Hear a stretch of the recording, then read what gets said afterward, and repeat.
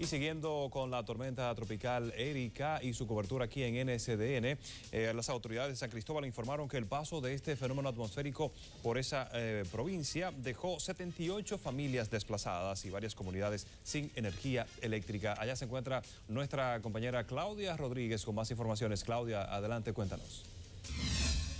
Saludos, muchas gracias. El gobernador de la provincia de San Cristóbal, Julio César Díaz, dijo que las 78 familias desplazadas acudieron a casas de amigos y familiares, por lo que no fue necesario utilizar los albergues.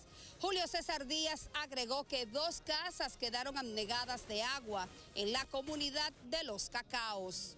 No hubo ningún daño ni tampoco hubo personas afectadas, ni, ni, nada que lamentar en términos de, de, vida.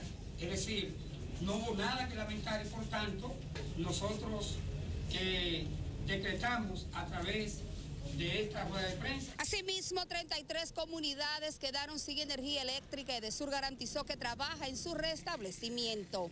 Bueno, porque, afectada porque se le interrumpió la energía eléctrica.